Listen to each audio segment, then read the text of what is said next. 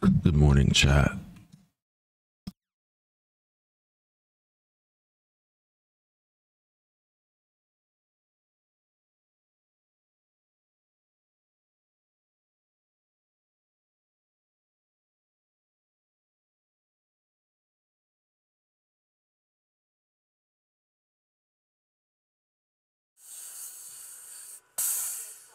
Good morning, chat.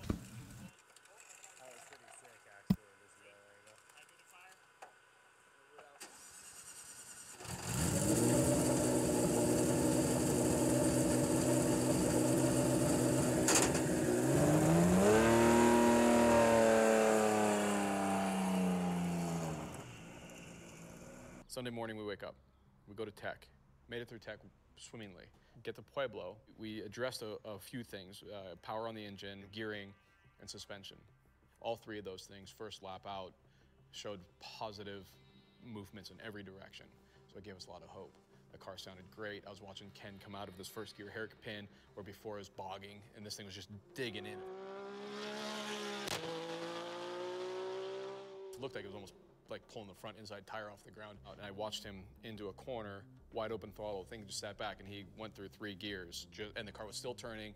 Just everything looked great. Came back in, tires looked good, but there was a sound. When Derek and I were standing there, the car came by under full throttle. Sounded great. And then when he drove by us, going back to the pits, I, like something like I got a pit in my stomach. I had an issue yesterday with um, with uh, over revving of the engine, unfortunately, which damaged it, and um, we paid the price and uh, had our test cut short, which was a big drama because we'd just made some good progress with gear ratios.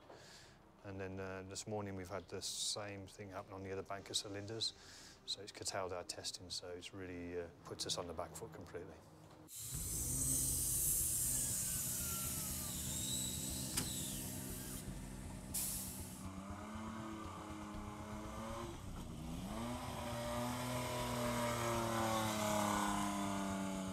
If it comes back and it's happy, it's good. We've uh, turned a corner, so big effort to get here. So brilliant result. Let's just see if we can uh, push on with that today and uh, carry on successfully. That guy's so unhappy about most things. That or it's just his. This is.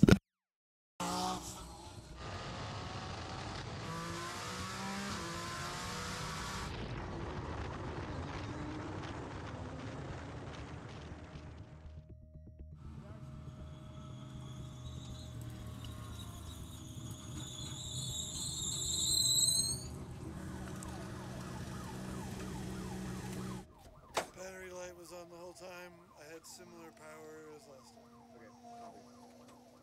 Well, unfortunately, right at about midway up his first run, car sounded great leaving the line. Everything sounded good. And when he came back down, I heard it. The car was running on five cylinders. It sounded angry. I was like, damn it. Uh, but he drove it down. He was like, he, he's like, yeah, it just has a misfire, you know? I heard it and I was like, oh, we're done. Um, so we loaded the car back up, got back down here, and just immediately tore into the car. We find out the engine's broken. And from a hopeful standpoint, I start racking my brain. The whole team starts putting their heads together. Well, what, what is it going to take to fix this? We knew we needed a head because that, we knew that head was scrapped. We knew, knew we needed a piston. We, we lost a turbo because a chunk of the valve took it out. And these are one off turbos that Garrett made. Just so happens they made some extra parts. So there was hope. Uh, I was like, okay, we, we, can, we can do this.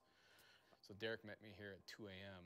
and we, we saw the scoring on the cylinder, and there's a big dent right in the middle, two big dents. One is far down the bore, which I could live with, but the other one was in the really in the quench, right in the the, part, the tight part of the compression cycle or the compression stroke. And like, we, we can't run this because I've tried it before. I know what happens. It's really trick trick uh, to try and get everything lined up with uh, this prototype car. So normally we, we, we have like a eight month period. We've done it in four months, and you really need all that all the all the stars to line up to make sure it works. It's it's uh, you have to pay respect to this hill, and if you if you're one step out, it'll bite you, and it's really bitten us really hard. And uh, you know, I feel sorry for everybody that supported it and everybody that's put all the effort into it. Um, but um, we don't want to give up. But it's, it we're struggling at the moment big time to just make it a, a safe option for Ken to get him up the hill and uh, to do justice to the amount of effort people put in. So the good news is we have a year to think about this thing, develop it further, build a spare engine, and just look back at what we've learned in the last five, six months, apply that to the next year, so we'll come back stronger and better. Uh, I'm not mad about it. I'm just, this was I was supposed to retire from Pikes Peak this year, and uh, that's not going to happen.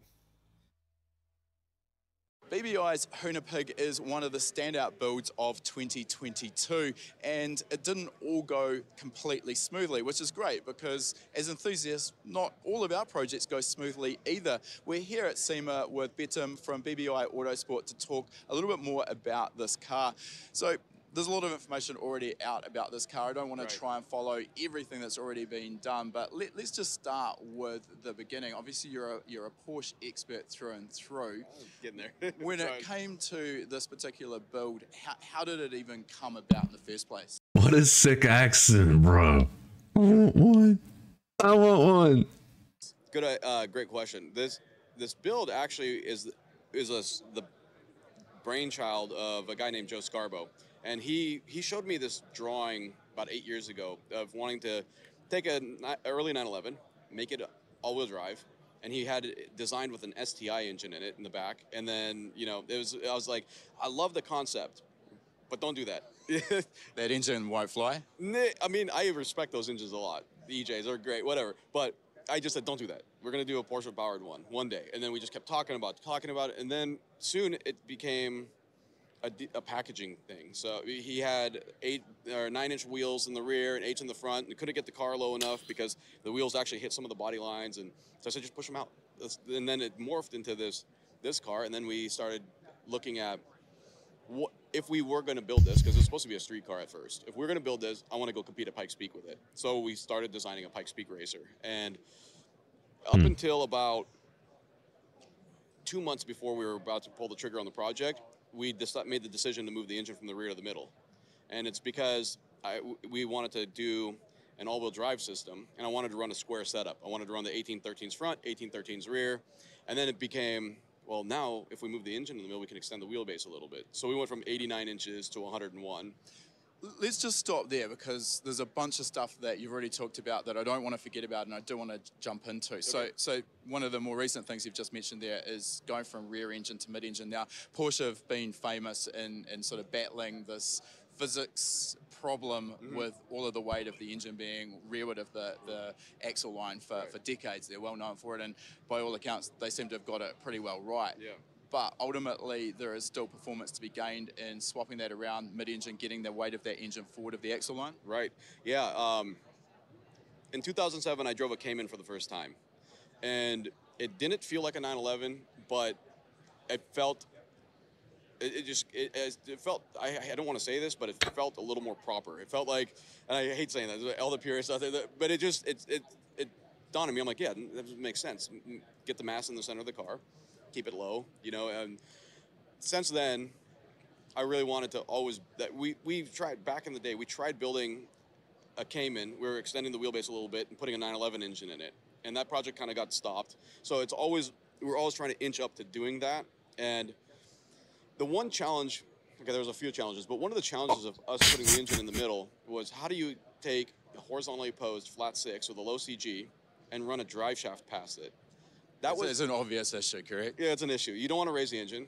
Uh, there's no room. You have the turbos, and then you have the tunnels right underneath the engine for the for the diffuser, and that that's also another reason why it made more sense to put the engine in the middle, is because we can run a real efficient, nice diffuser in the floor. I, I have always looked at the, the stock Porsche setup and, and, and figured that that really does limit you with the engine there on what you could do with the diffuser. So yeah, absolutely makes sense. Yeah, and that that I think with Porsche, aside from the mass, the aero benefits of having the engine there uh, is tremendous because you have such a, a, a more clean run and a way more efficient flow path on that lower diffuser without the sharp angles.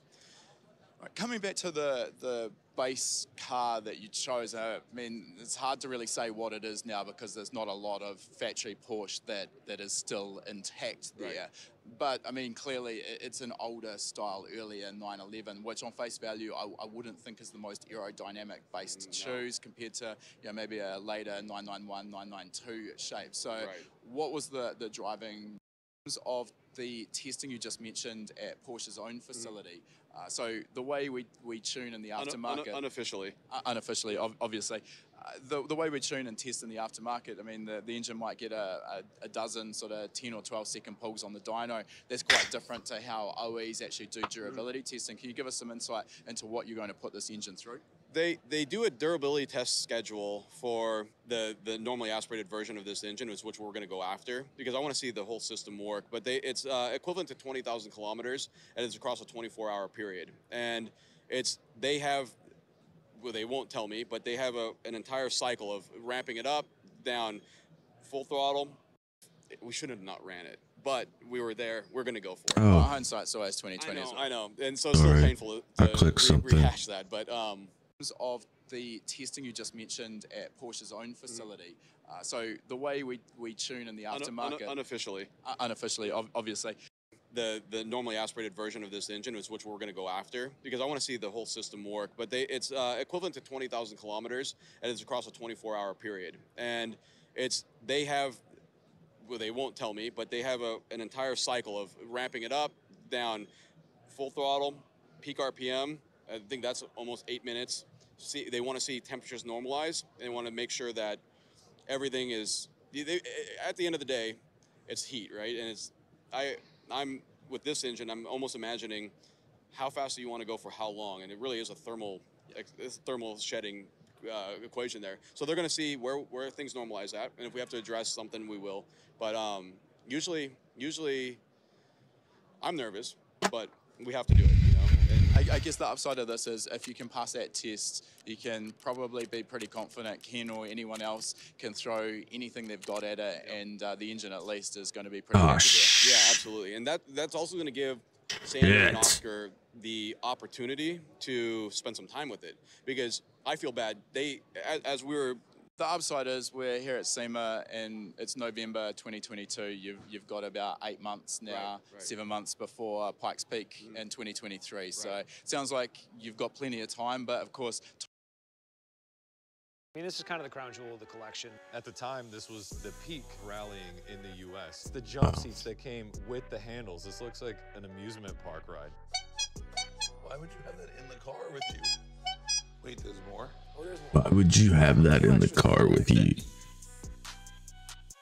Why?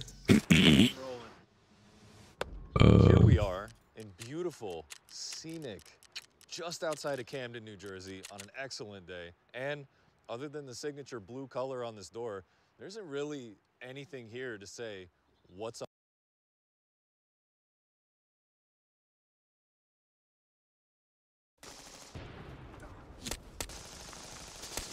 up. Sir, get your men ready. Do we get paid? Die, die, he's Car. coming, he's coming.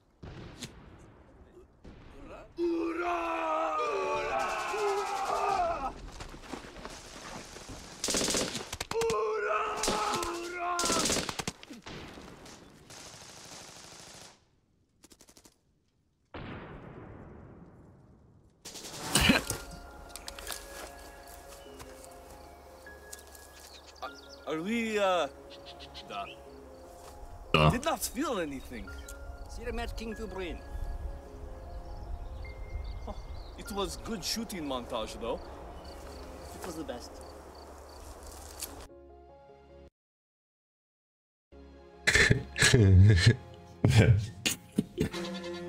oh man.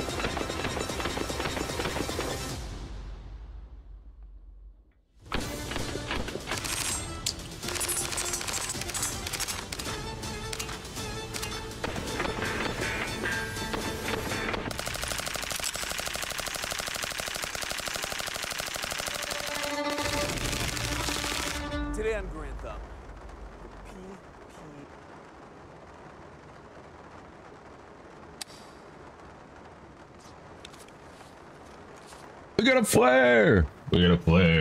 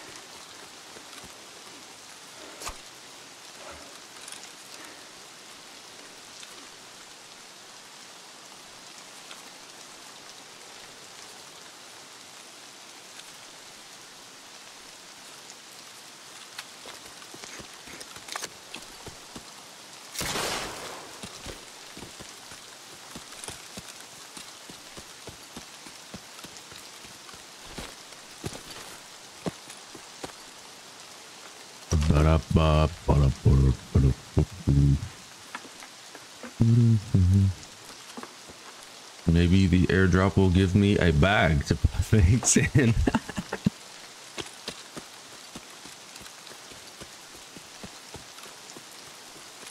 maybe, maybe, maybe.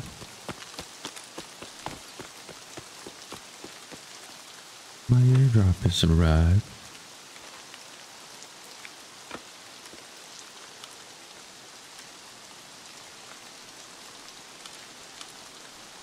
How's it going, Forgotten? Hope you're doing well today.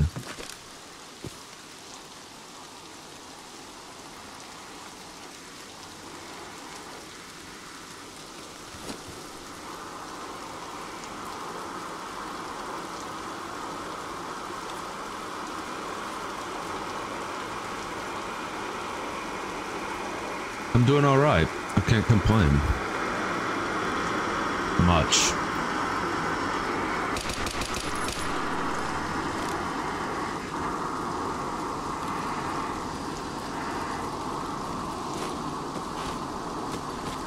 You're okay today as long as no one calls you. I mean, I, I'm okay any day as long as no one calls me. Fucking hate talking on the phone. It's terrible.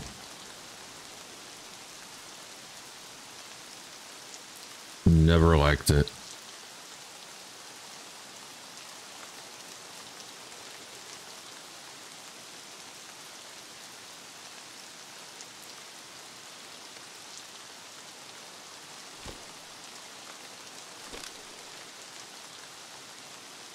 Of your life. Sorry to hear that. Fuck.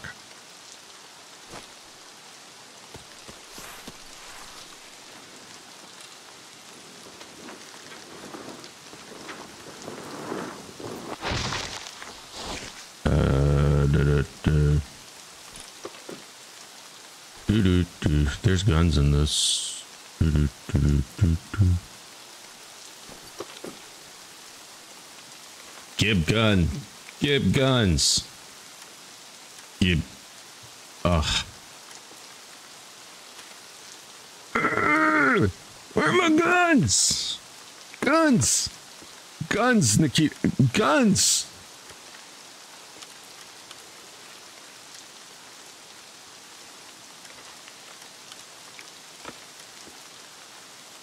No guns. Gun? Gun?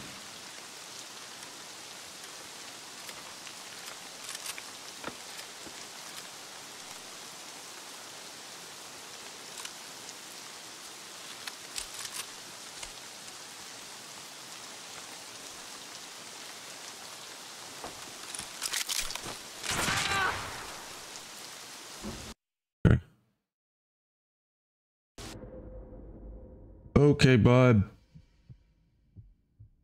So he gets all his kills.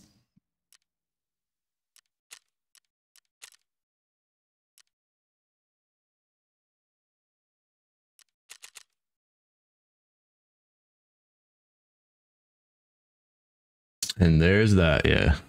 Yeah. Some people will never be good at the game. It's all right. It's all right.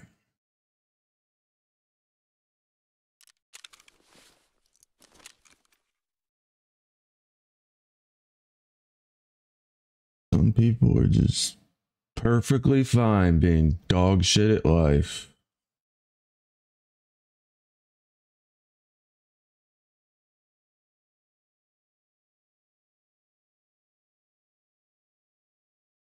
I just don't know who the fuck uses impact grenades like that. Whatever, bro. GG's. I just got a Lex. Off my scav. Thank you, Nikita. I really needed that. Because I'm poor. I'm dying to all these dog shit gamers that you let in your game, Nikita. Uh, Bad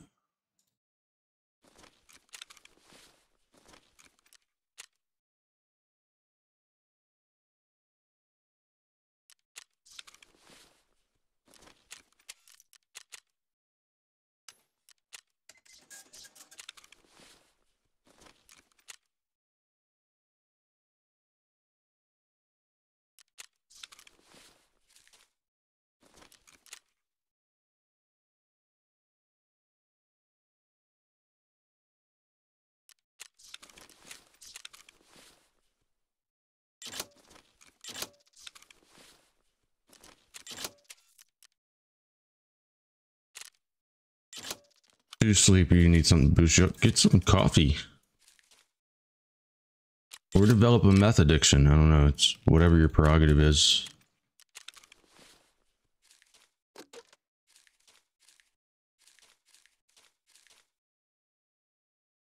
Never be sleepy again. Uh, da, da, da,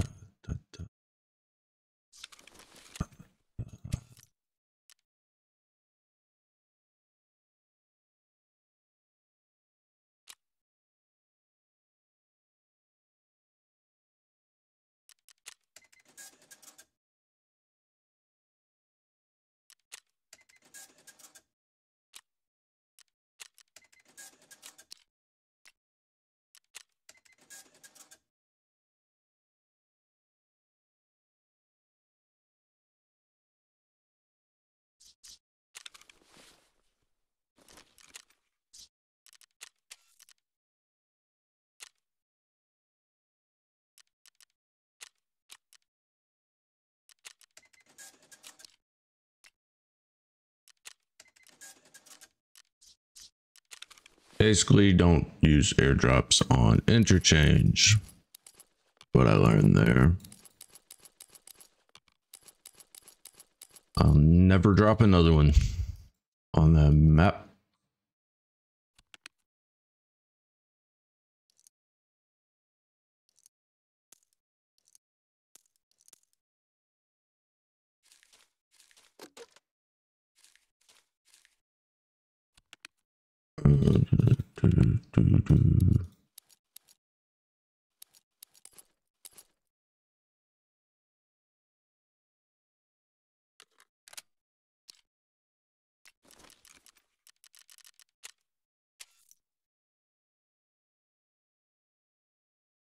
No.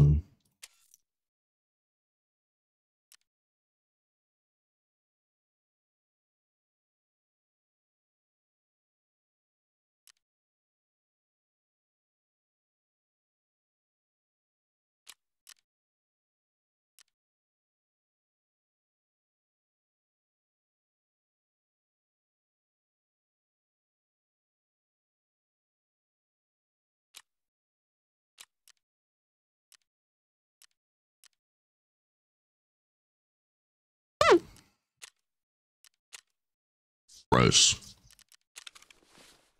Well, there is that.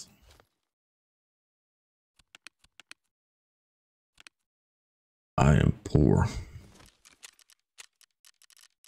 Too poor to do anything I want to do.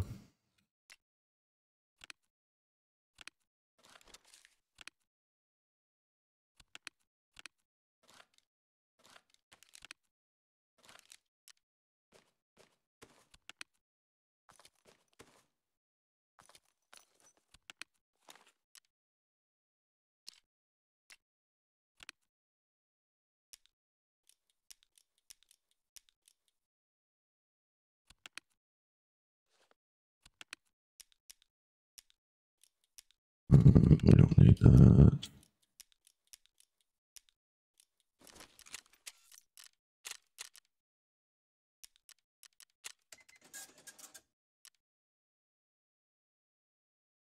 Need to get high doing lines of coffee.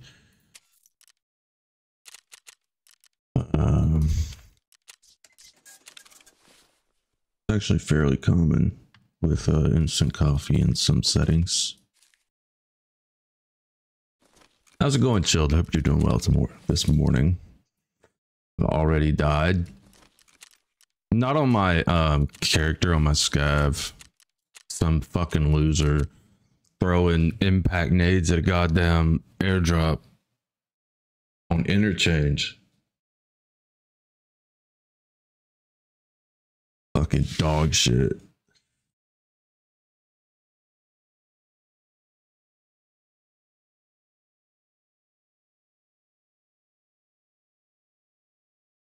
Yep, just waiting on your replacement wheelchair. Gotta love it.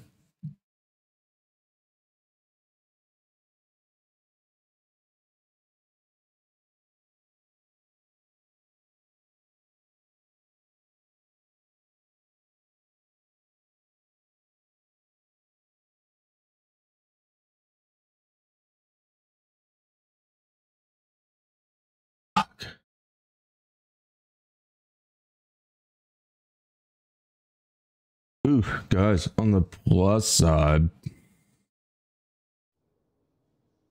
I got all of the fruit trees cut yesterday. All of them. All remaining 13.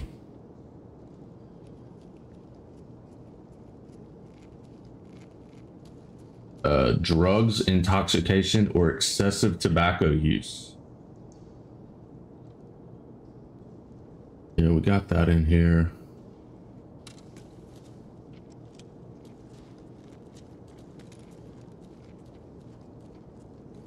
Just gonna leave it on the video game. We've got we've got content labels on uh Twitch now for streams. I don't know how I would feel about having all of them selected outside of the sexual content. I don't know, I'm pretty fucking sexy. Maybe I should. Because I'm a sex symbol.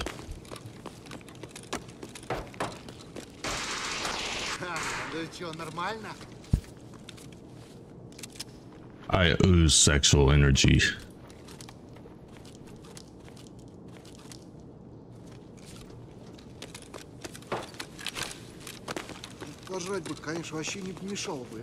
Uh, da, da, da,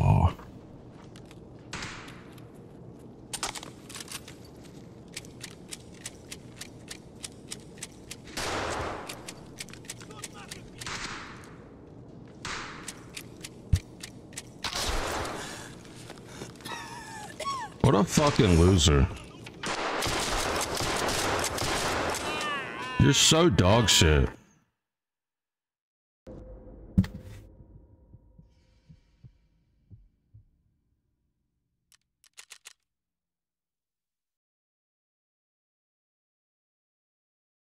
Cap, the hot tub streamer. Yeah, that's all I'm good at.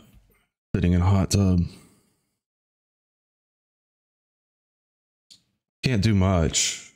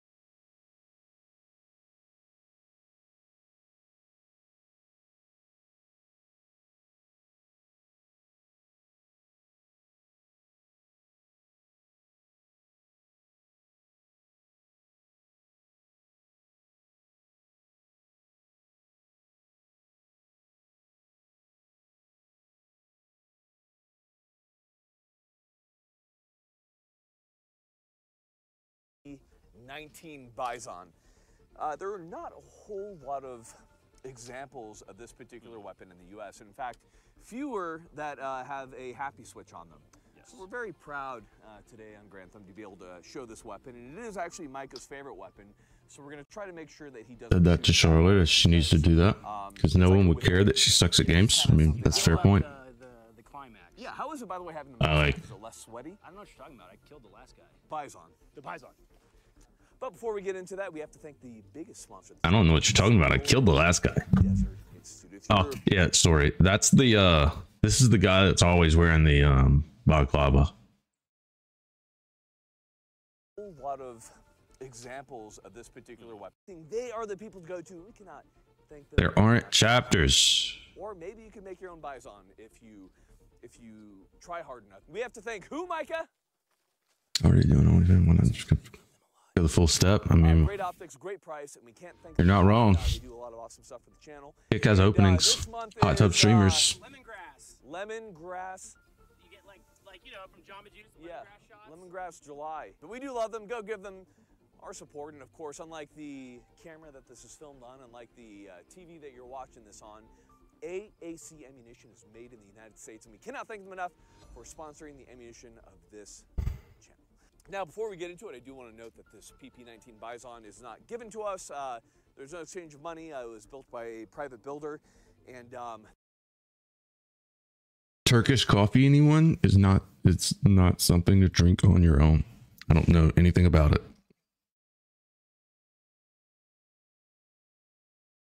I'm spelling that wrong.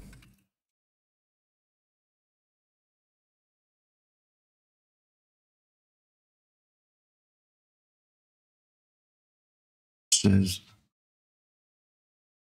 finally ground coffee beans without filtering. Um, they make something like that in South America as well.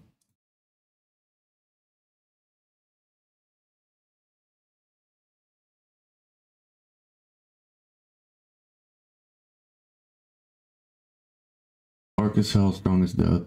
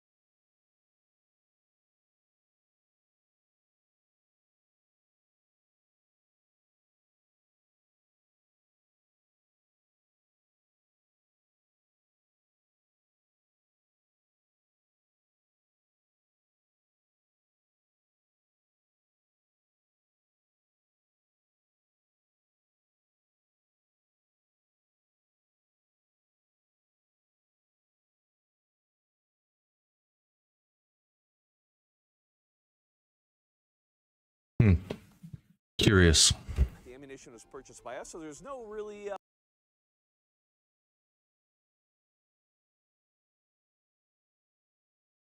Is OnlyFans profitable? She makes as much as she would doing a full time job. Fuck, I need to do some OnlyFans. there's no biases there, right, Micah? We're not state sponsored by Russia or anything like that. So uh, the Bison is what you get, and we'll uh, give our honest opinions on the weapons as we always do. So talk is cheap, and ammunition is what, Micah?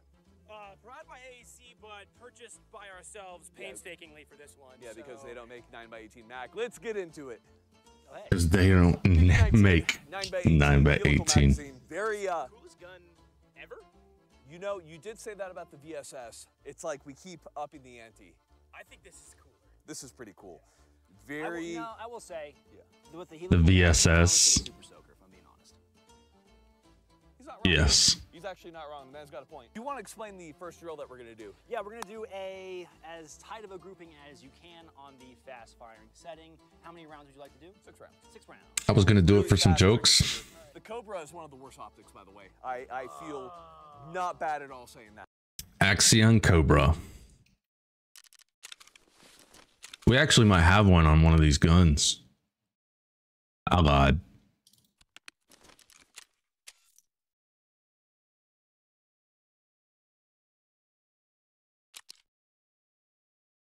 What he's talking about. And it's got the eye shade on it. Eye cut.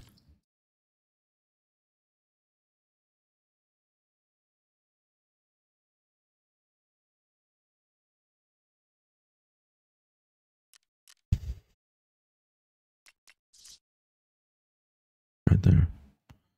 Got a different shade on it though. And the wind. Oh, never mind. Because it was over green, it looked blue. Pretty close. My God. How many did I fire before? Four? Four. Uh, one, two, three, four, five. That's six. That's a nice grouping right there. That's like this. Stand by. Yeah.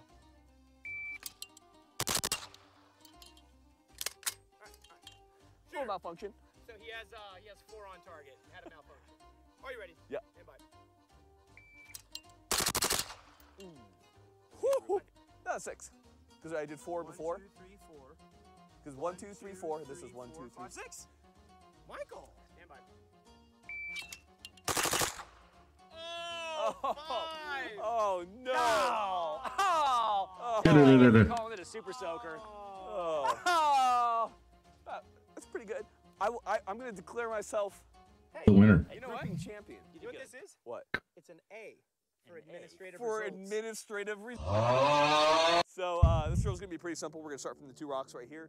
You're going to one, two, so one round per. You're going to turn left, which is impossible for all of us. And as you walk, or you can stay still if you really want to, depending on how you want to run the drill. You're to one, two, one, two, one, two, run to the pole, and then you're going to do two shots on the left target down there.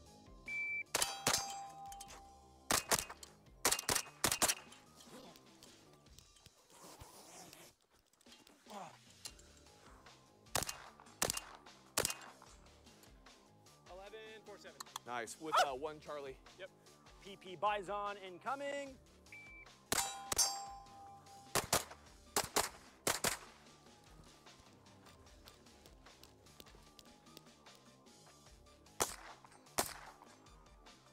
Forty-six. Nice. A lot of mics. A lot of mics. Smoked it. up those mics. You have a Delta. I had Delta, yeah. Uh,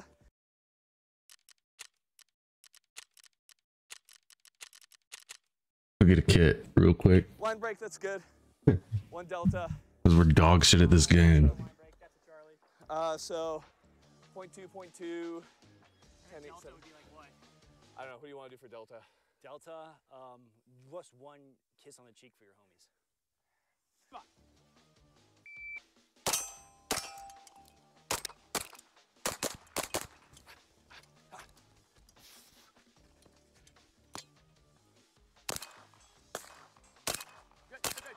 Good. Clear, clear, clear, clear. Oh. First two were good. Oh, my bad. I got really Yeah. excited. Rewind back. Yeah, yeah. Line break, Alpha, two Alpha. I'm really excited. Delta. You know what, guys? Maybe the real drills of the Bison were the friendships that we strengthened along the way. The hostages we executed in the clearing. The Bison's really cool for a whole lot of reasons, but I think one of the coolest reasons is that there's not a whole lot of information on it. And there, there's a couple of reasons for that. One, obviously, uh, in general, Russia's not going to tell us a whole lot about their weapons development. And also, the PP-19, the Bison, is wasn't a terribly successful weapon in that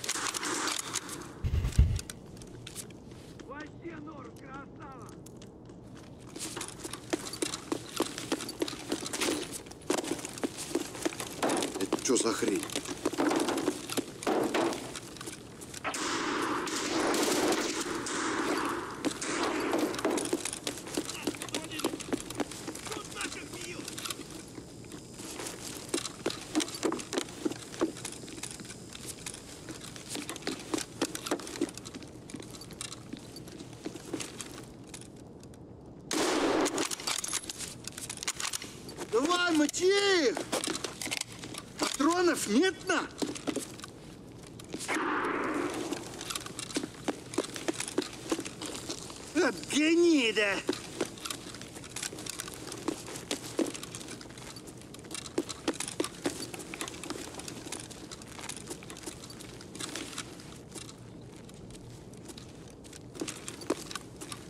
Пожрать бы, конечно, вообще не помешало бы это.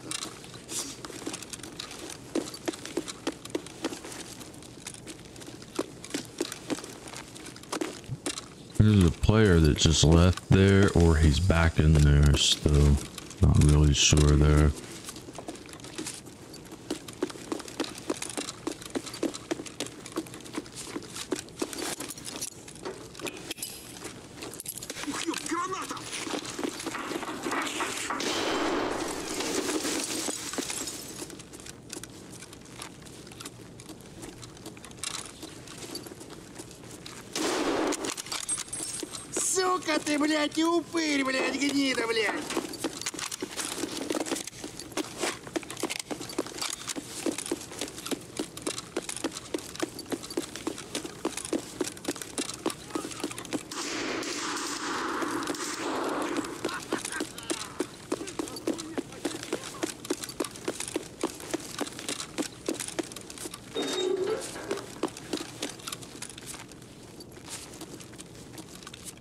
Someone's killing things for fun.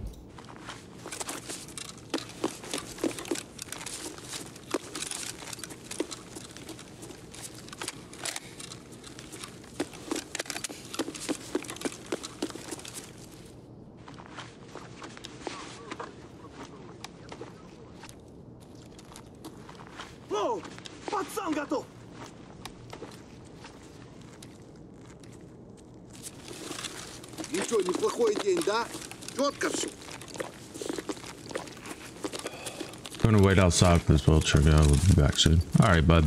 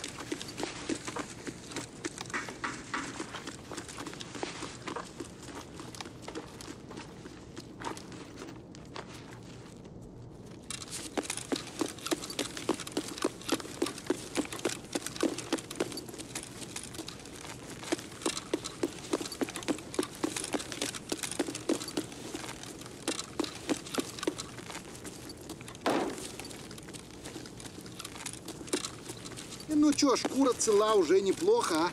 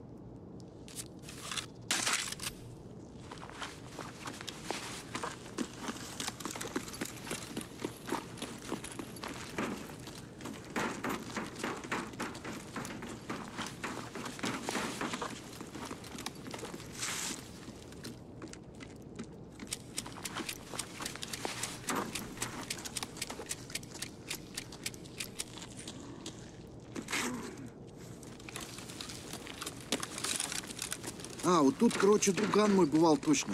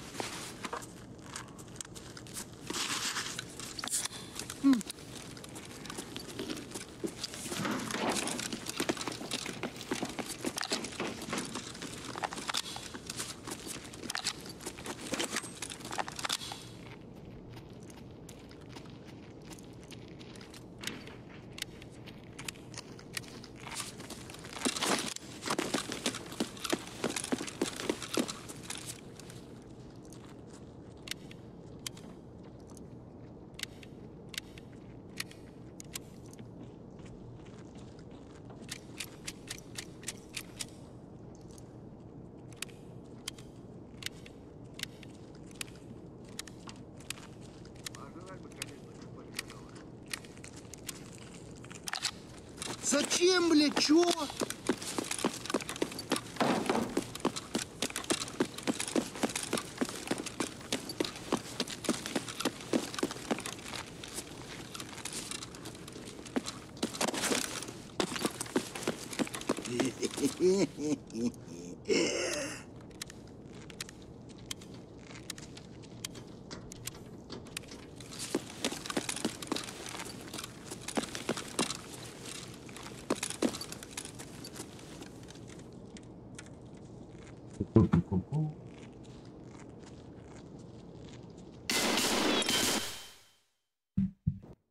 Do do do do.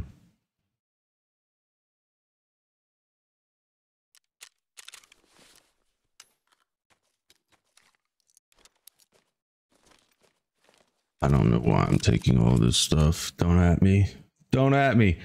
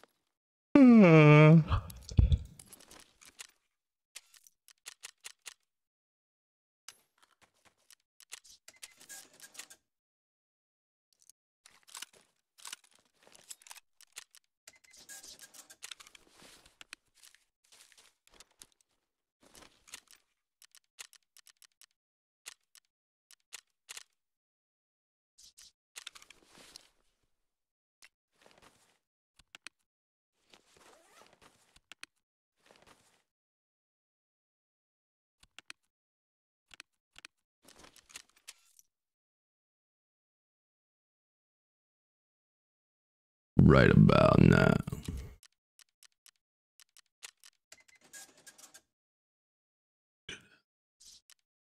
So,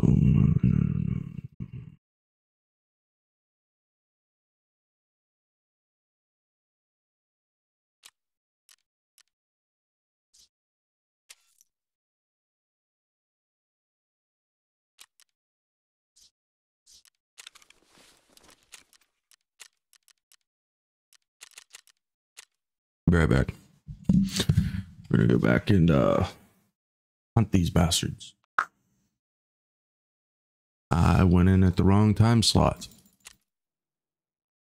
It was Enjoy the video. I'll be back. Somewhat quickly. So the Bison was replaced by what would become the Vityaz, the PP1901. Uh, this one is, of course, massively kind of modified, but it was a more traditional design and more compatible with a lot of AK parts compared to the Bison, which was more complex, but in many ways a little bit more, in some ways, more forward thinking. So we're going to talk about this very fascinating Russian weapon. There's not a whole lot of examples in the US and fewer still, I would say this is perhaps one of the few that uh, have a really fun, fast trigger setting. The PP19 Bison is a blowback operated 9x18 um, chambered weapon. So 9x18, a little bit weaker than 9mm, not by much, uh, but it does impart a really soft recoil.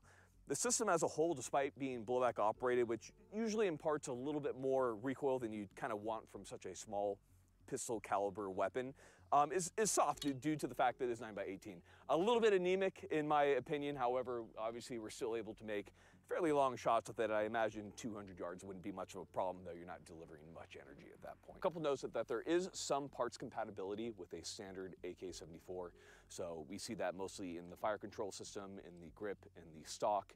Um, otherwise, uh, in stark contrast to the PP-19 Vityaz, the uh, receiver, uh, the trunnion, uh, is quite different from your typical AKs. So let's go ahead and let's get into it. Just like your standard AKs, we do have a detent right here. Obviously, you could mount any amount of suppressors on here. There's not a suppressor specific for the the Vityaz that is made in the US, but uh, from there we have our front sight post. Uh, you have your standard AK adjustments right there. Not a whole lot to speak about.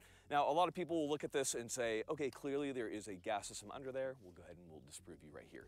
All right, pull that little guy off right there. Just get a little bit of wiggle. And we have obviously no gas system. It is direct blowback, just in case you guys didn't believe us. Um, so we have a simple guide to make sure that everything is right in those rails and doing good things. But otherwise, we have a simple blowback system, which is a very effective, a very reliable system, and uh, is probably one of the more popular systems in use in submachine guns, just because it works. So we have our sling loops right here, and then of course we have what everybody wants to talk about, and that is going to be the magazine. So these are a helical design right here, as you can see when I twist this. As you can see, this is helical, so when I twist that, I can get each round in. You can see each those little spaces for the rounds to seat in. It's a unorthodox design, and uh, probably in many ways contributed to the uh, Bison ultimately not being a, a very well-liked or kind of well-adopted weapon. So when you're loading it in, it's a very odd procedure. You can see we have these pins right here on either side of the receiver. So we have hooks on the magazine right there, as you can see. You're going to get those hooks in place. Then I'm going to, just like an AK, you have that latch right there. Going to make sure that's lined up, press that into place, make sure that is nice and seated. And then at that point, of course, I could rack the weapon and get the round in the chamber. It is, I'm sure with more time on it, I could get better at it. It is a. Um, I can't imagine this. Call of Duty is bullshit. bullshit.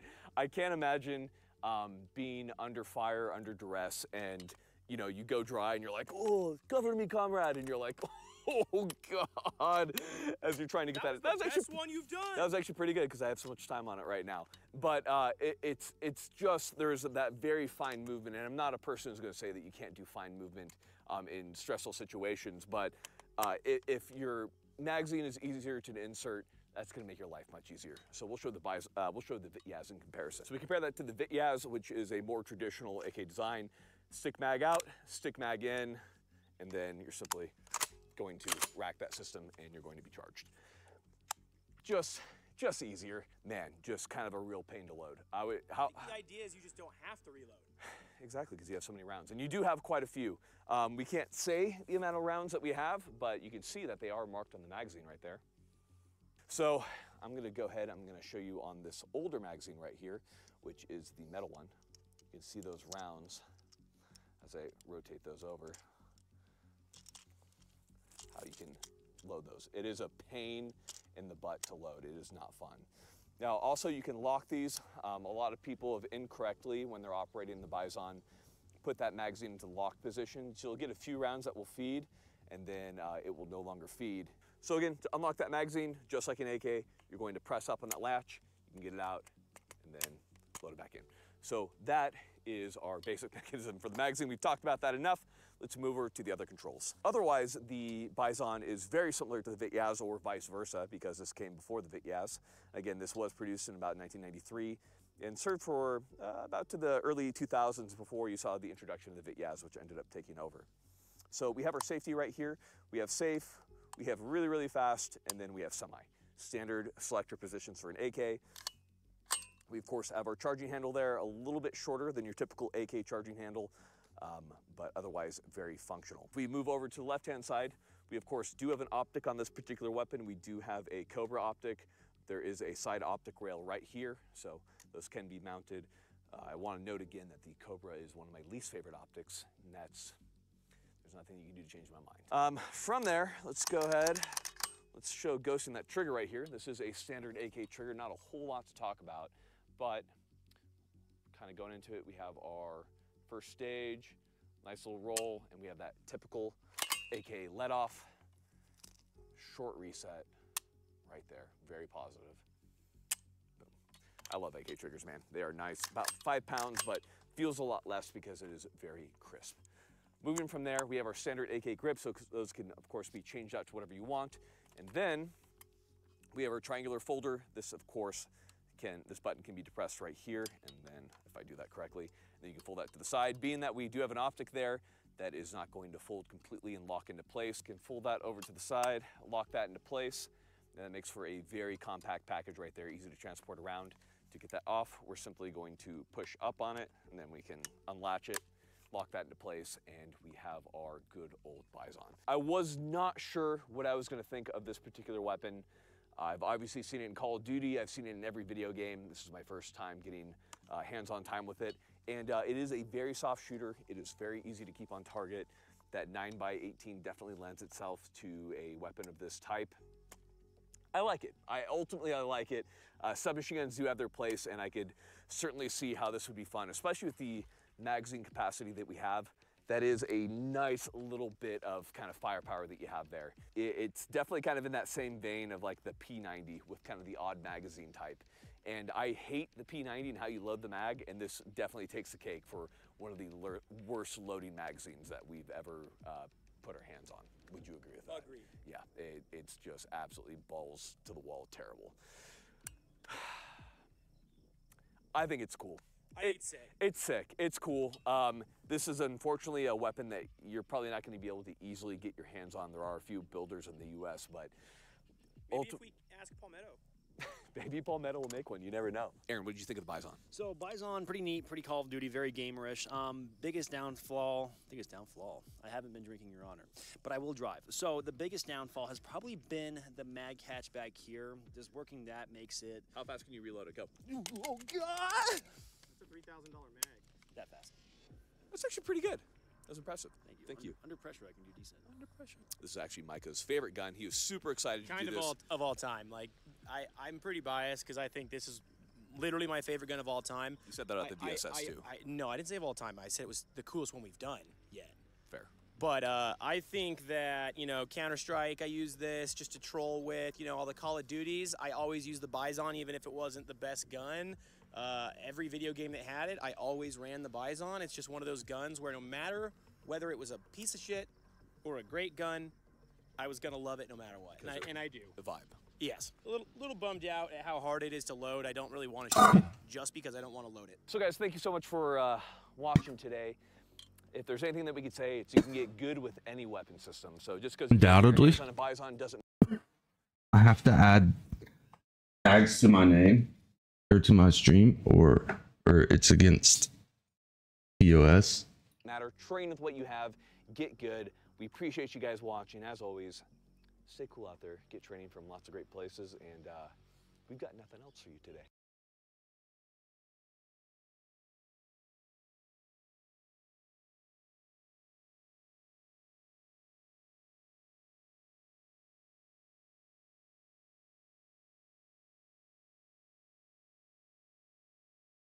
So, the Texas Suppressor Freedom case, which aims to stop the NFA and ATF regulation of suppressors, had a hearing last week.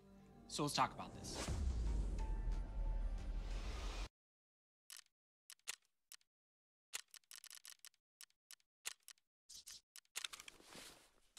I don't want to do it. I hate it. I hate going in with NVGs trying to kill these fucking guys. It's so nerve wracking.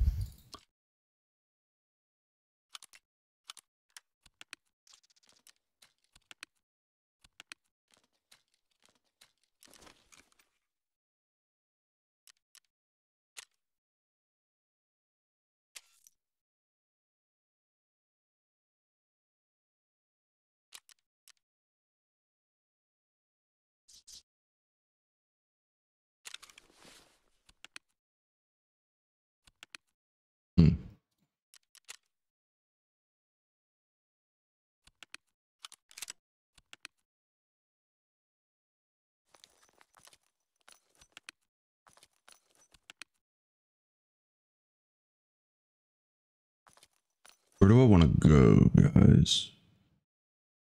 Where do I want to go?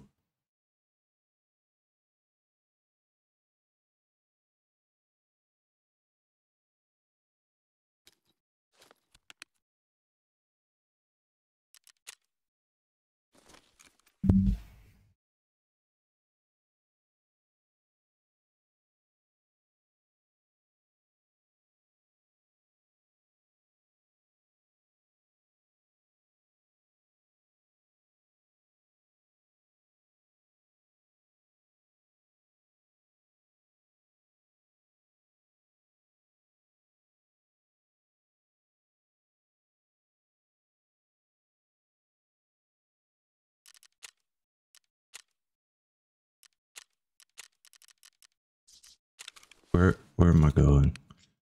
Um, reserve, lighthouse,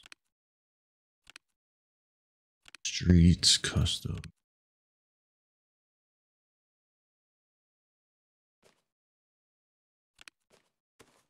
We're gonna go to woods.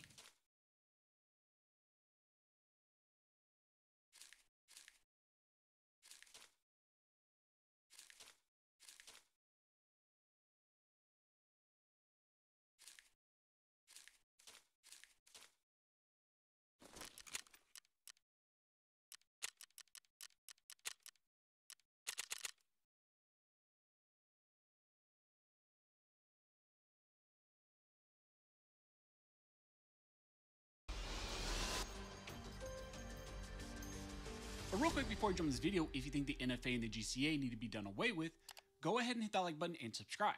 Also, I'm going to give a shout out to one of the main supporters of this channel, which is USCCA. Through your membership, you get training Edu. This is an important and interesting case, and now we had oral arguments that took place last week on cross motions for summary judgment. Now, for those not aware of what this lawsuit entails and what this arises out of, this is a lawsuit in regards to Texas House Bill 957, which was passed recently in the state of Texas. HB 957 exempted silencers which are manufactured in Texas and which remain exclusively within the state, and it seeks to remove them from federal firearms regulations, including the federal firearms registration and taxation under the NFA. The claim behind this law is that since these items are made and sold exclusively within a state, they do not fall under interstate commerce and therefore fall outside of the purview of federal regulation by the ATF.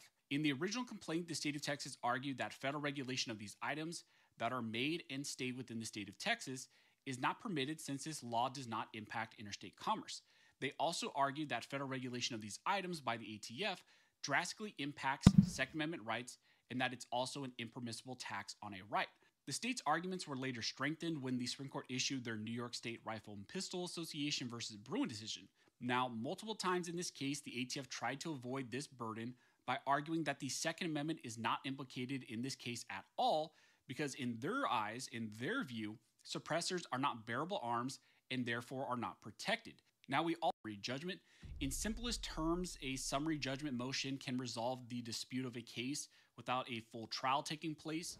Both Texas and the ATF had filed for cross motions for summary judgment, which means that both of the sides, both the state of Texas and the ATF, of firearm suppressors in its definition of firearm.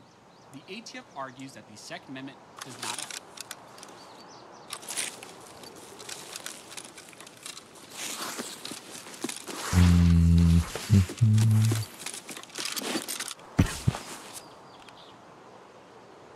Shit. That is obviously not what I wanted to do.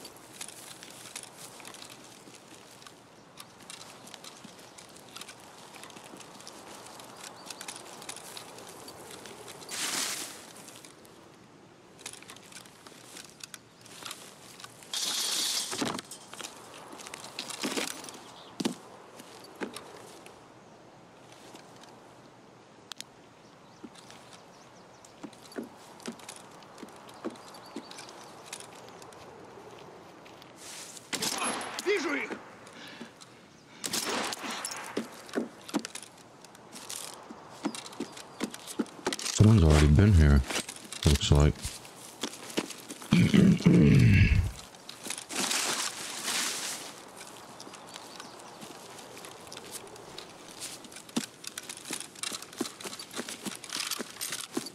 Rotate around like this. Um, check this side for this uh, other scav or player or whatever it was that was shooting at me.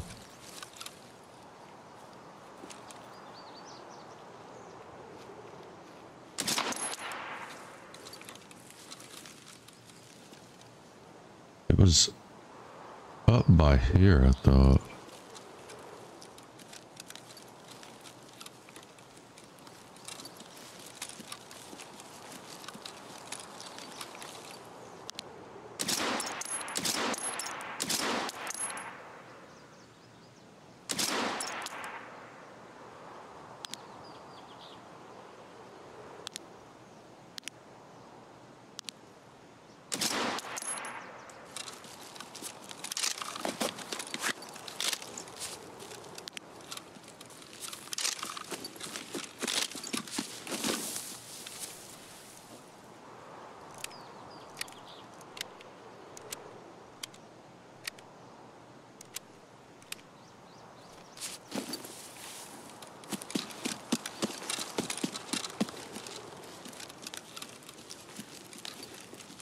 It was a scav. That's good.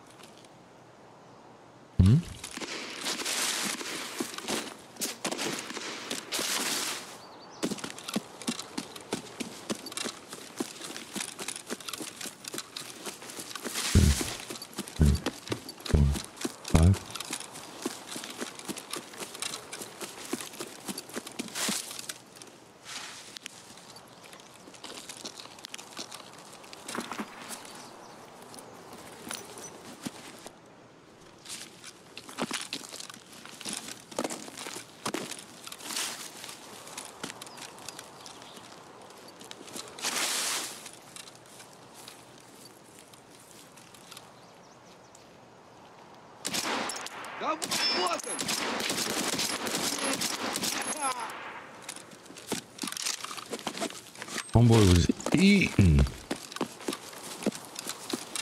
You were eating my bullets, my dude. Don't appreciate that at all.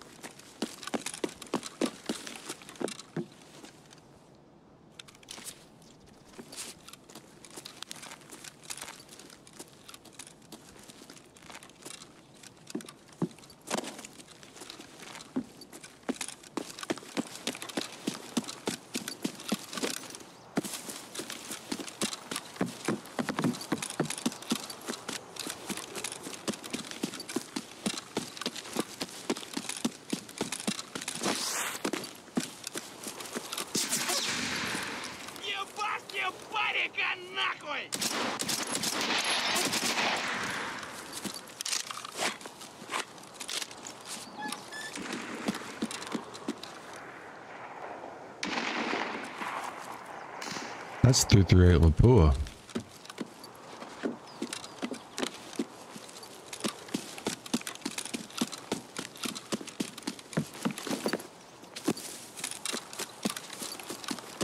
Homies out here dealing hate.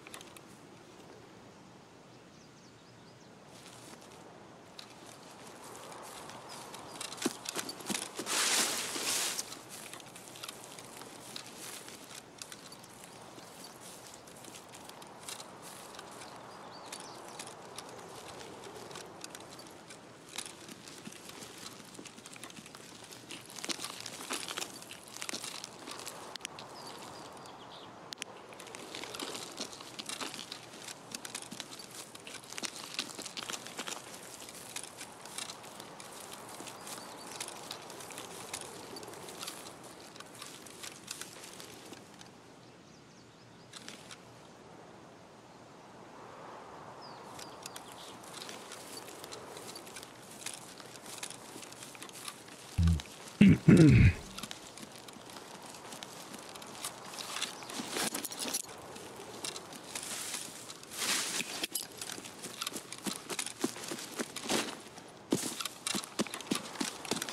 be dead.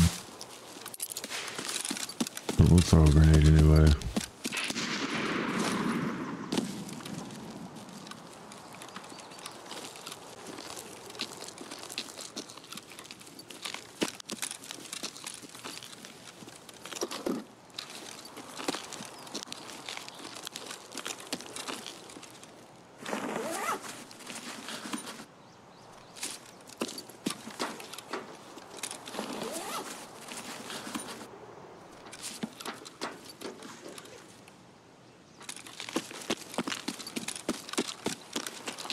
Lagged.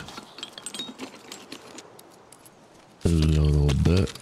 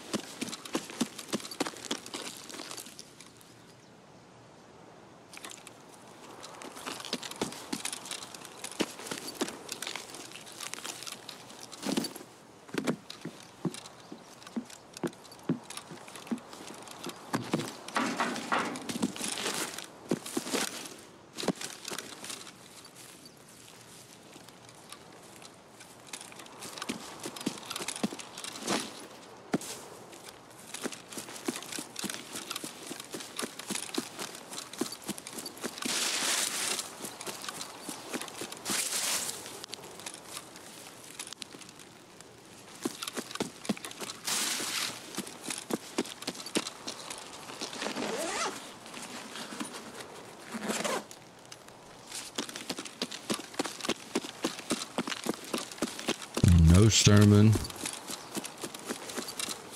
No bloodhounds here. And no loot. And milk out.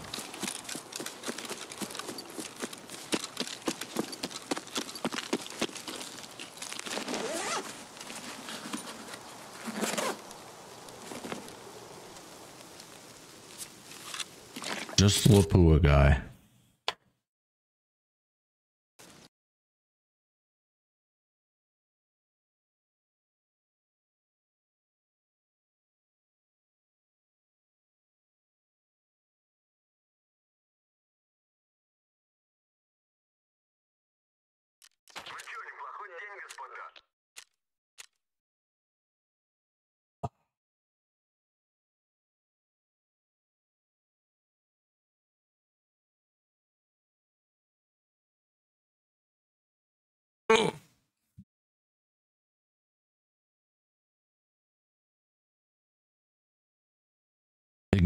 Armpits on this shirt. They're permanent. Permanent stains. I've had this shirt for a long time.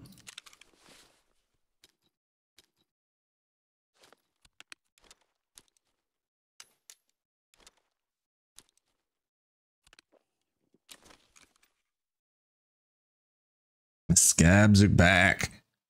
Scavs are back.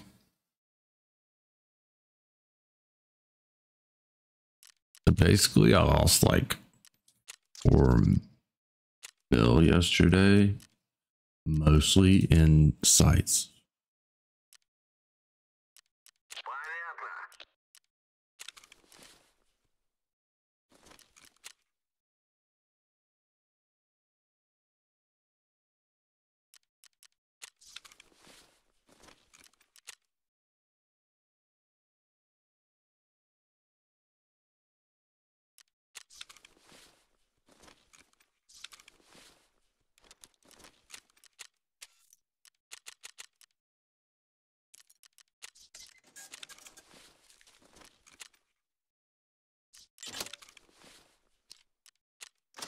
Gun durability drops far too fast. Popular opinion, maybe, but what am I missing? I don't have an SJ6.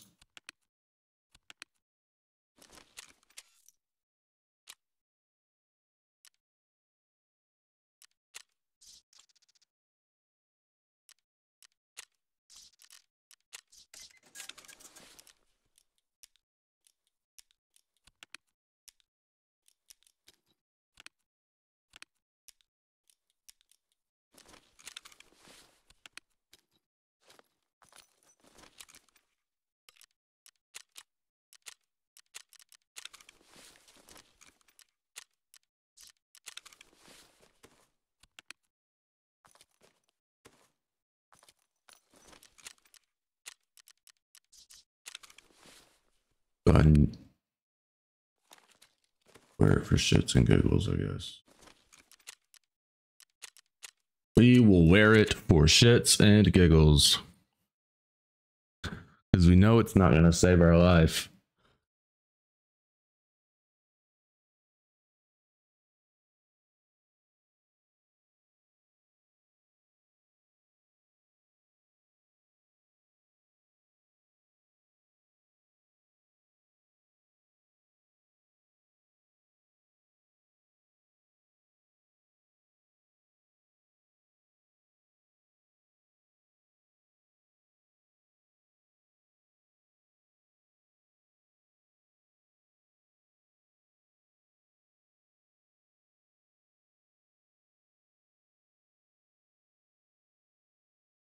I like this song.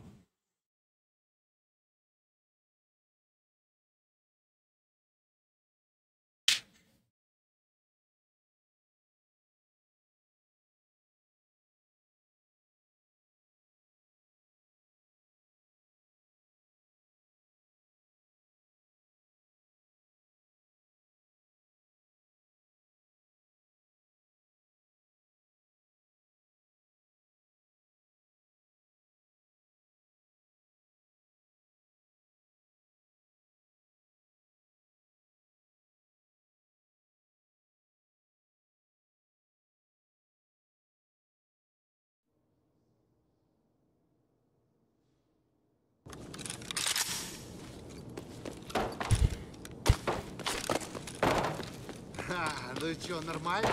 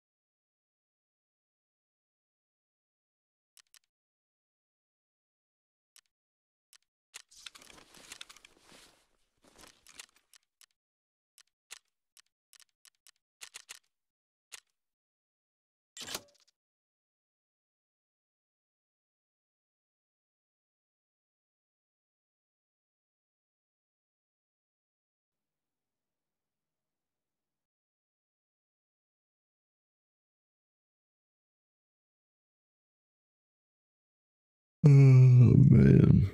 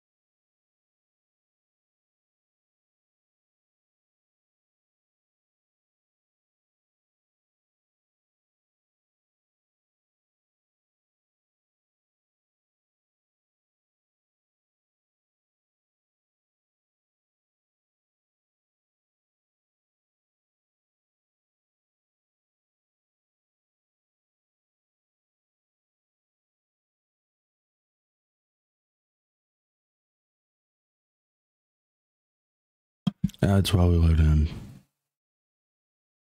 Or you're gonna get him while we're in the raid, unless I die, which is a possibility. Very well, could just die. Pretty often. Lately, today, for sure.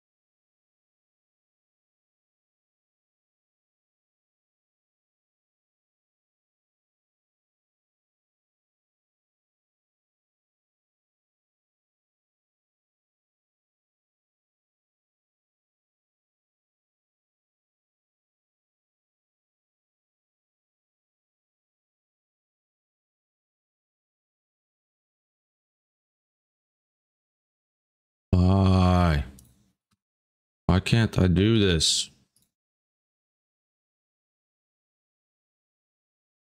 Does the launcher have to be ran as the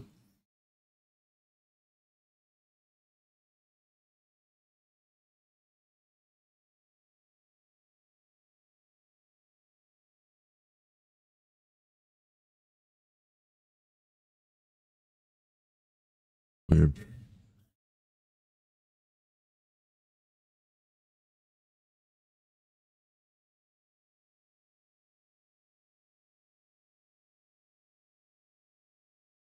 This is the longest I've waited for a raid in days. Actually, like days, literally.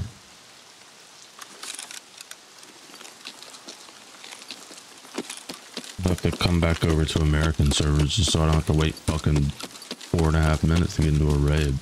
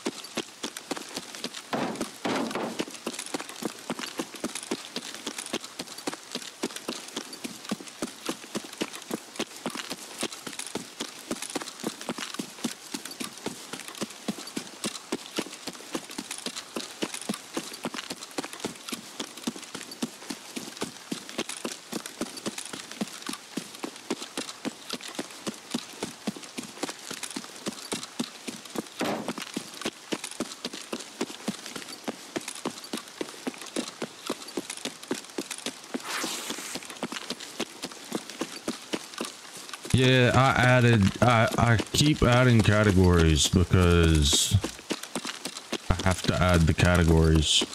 Yeah, yeah, I had to add categories, sorry. Every time I change that, it makes you say, okay.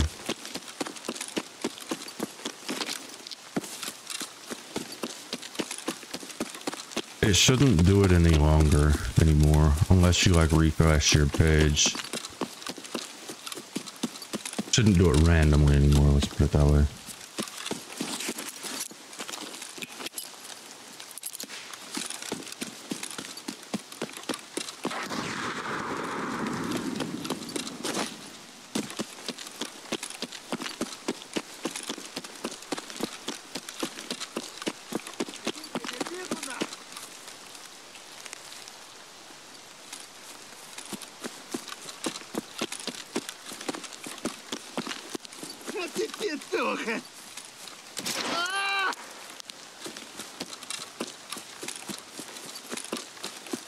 It's a new thing that they've added.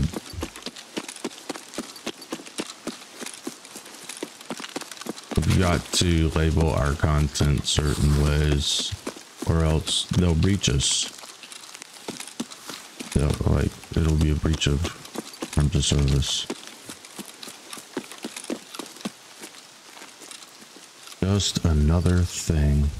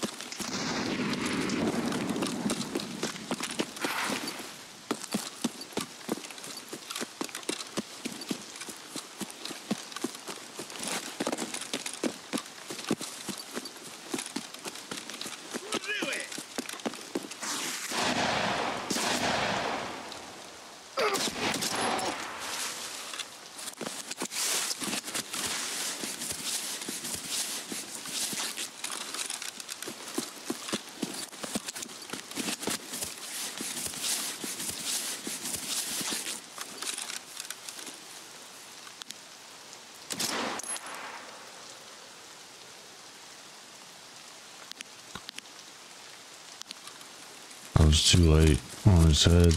Too late to find him. He dropped.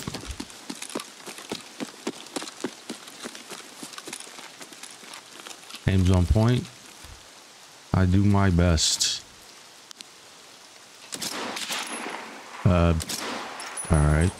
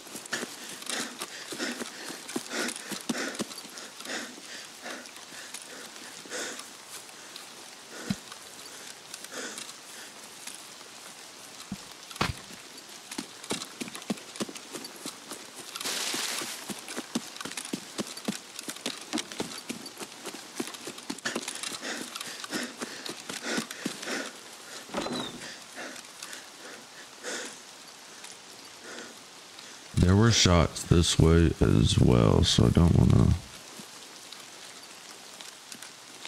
run in on Rambos.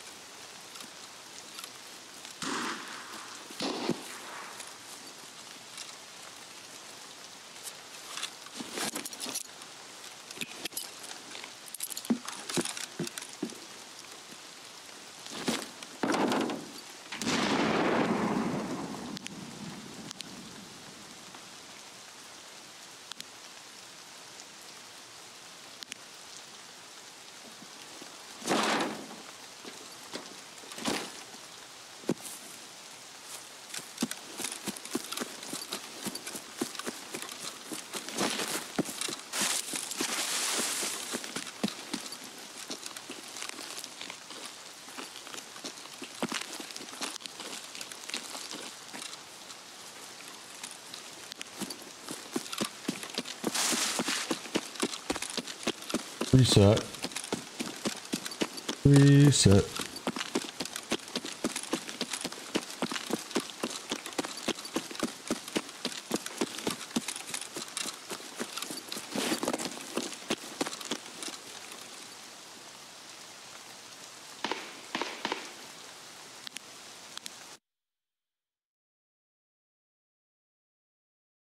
I need to get my charging cable.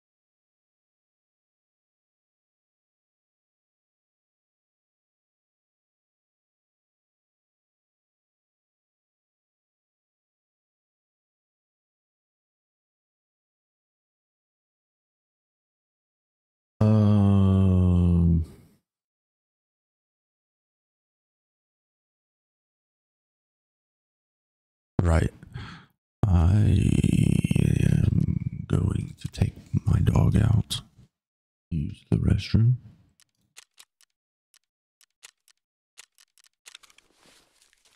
And then we'll go back to shoreline. 96. Need grenades.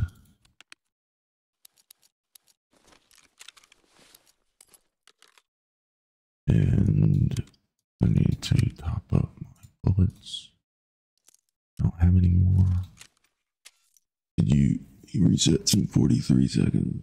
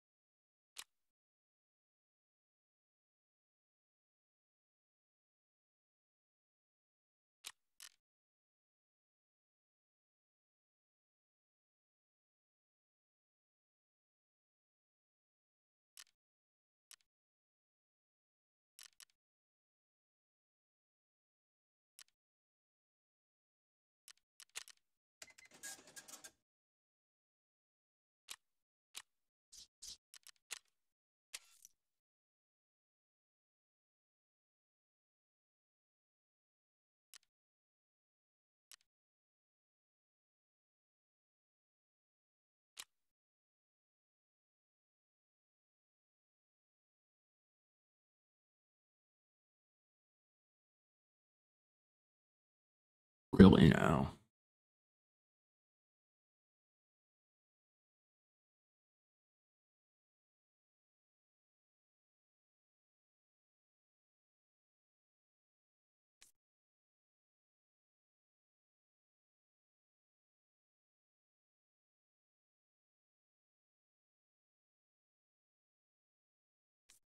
Hmm. That's weird.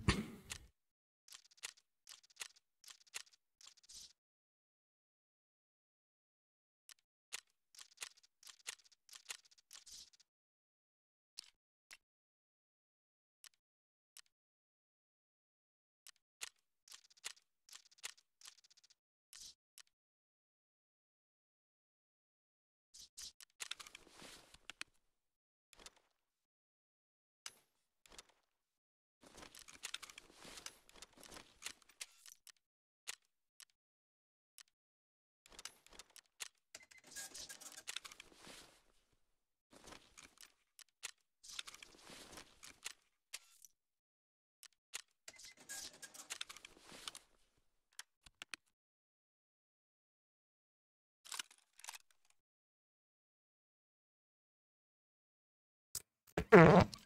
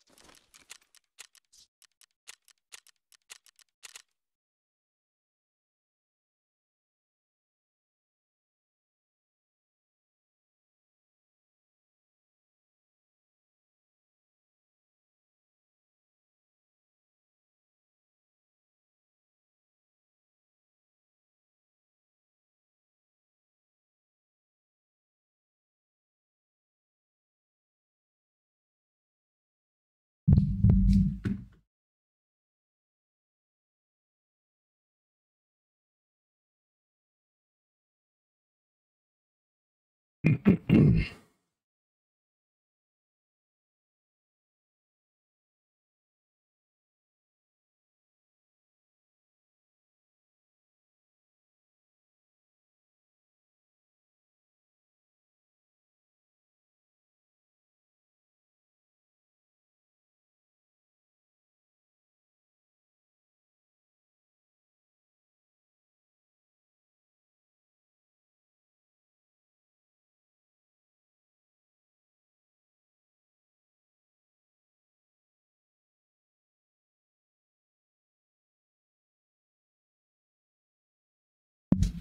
Sorry.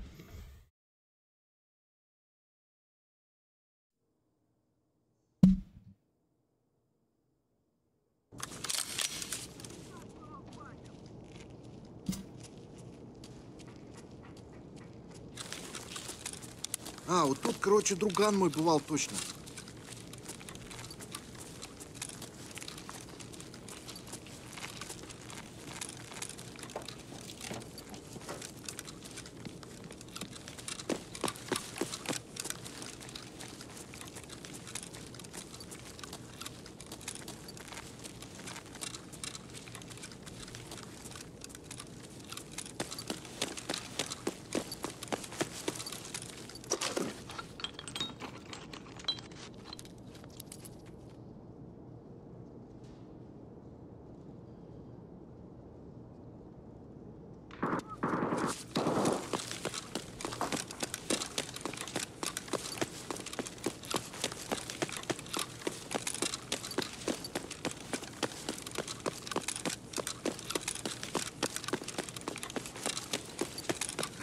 Да вы что, нормально?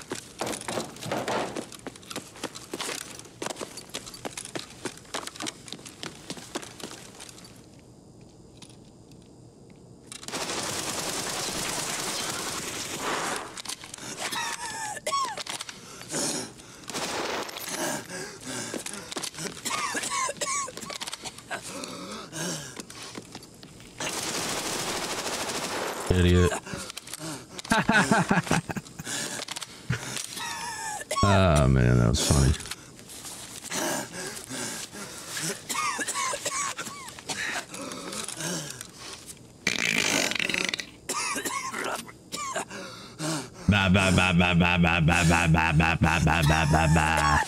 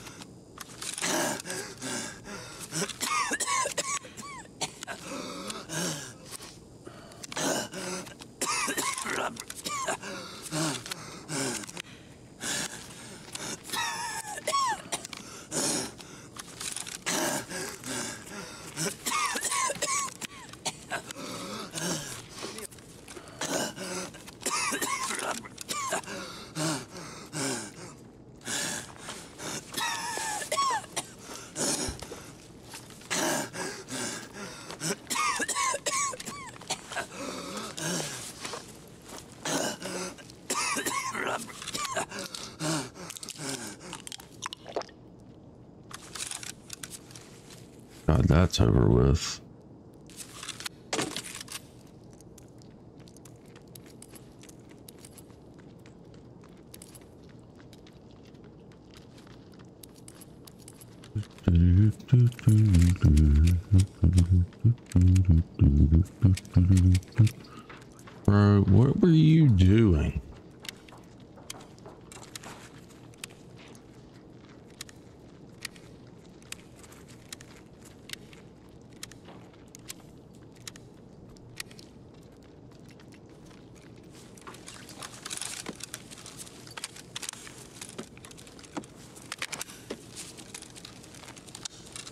Didn't realize I was in burst fire still. Um, with the MP5.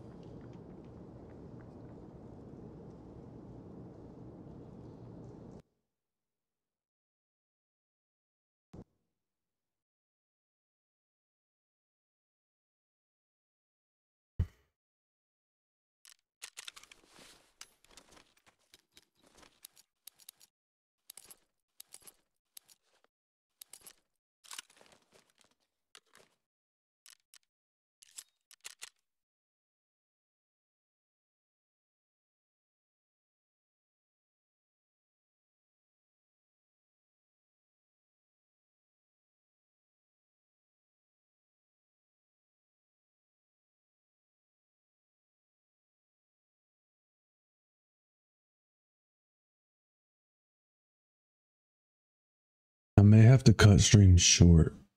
My nieces get up early. They get up at nine. I'll have to cut the stream short. I'm the only one here to watch them. Middle. We wish is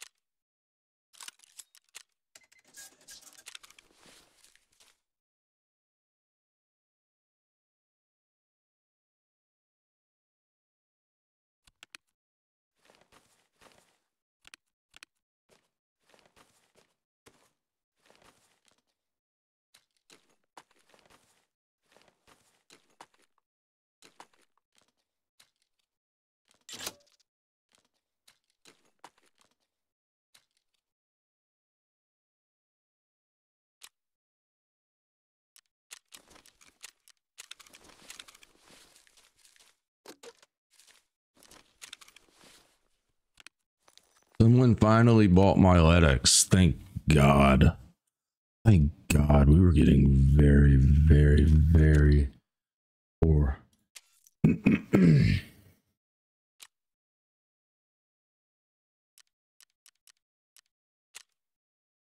400k. And then, yeah, no shot. We're just gonna run um, Packers and shit. It's gonna be great.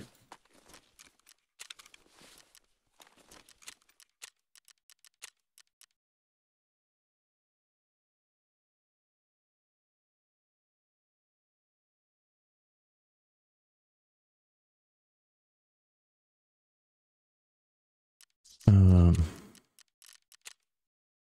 you know what, chat? I don't really feel up to this today. Uh,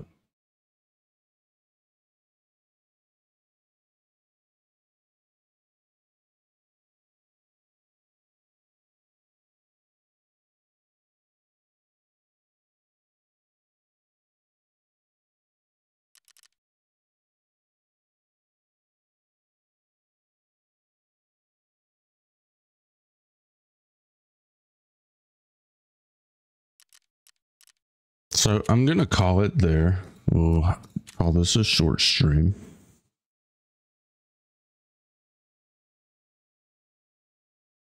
Mind the dog and my nieces.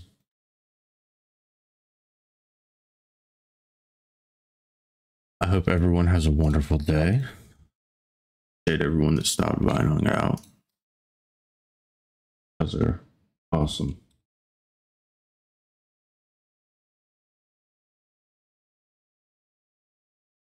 Everyone has a wonderful day. I'll return tomorrow morning.